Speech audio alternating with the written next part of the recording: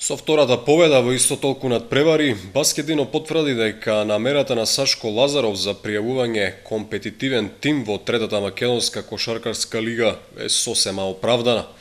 Во спортската сала во Кочани беше совладана екипата на Михајловски со резултатот 77 спрема 56.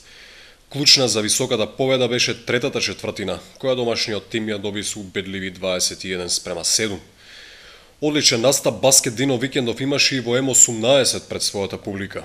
По неуспехот на отворањето од сезоната против Мазата Скопје, во второто коло лесна победа над Водњански лисици со резултат од 87 спрема 54. Се очекуваше дека ќе биде тешко на гостувањето во Скопје, но не и дека ќе доживее дебакал тимот во М16 лигата. Квиско баскет, баскет Дино 96 према 46. Надпреварот беше решен уште во првата четвртина, неверојатни 41 спрема 10. Ништо подобро тимот на Сашко Лазаров не помина и во М14 против звучно име кошаркарска институција, работнички, порасот од 41 спрема 25. Викендот беше одиграно шестото коло во Деската фудбалска лига.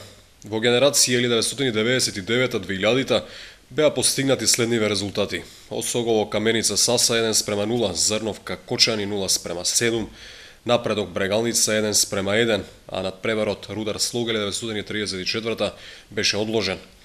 По ремито на Брегалница и одложениот надпревар во Пробиштип, на едно коло пред крајот на есенската полусезона, на вравот се издвои Кочани со два бода предност пред Брегалница, односно три пред Рудар.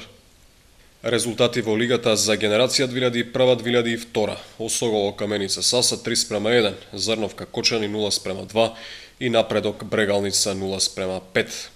Овде на табелата води Брегалница со 3 бода предност пред Осоголо.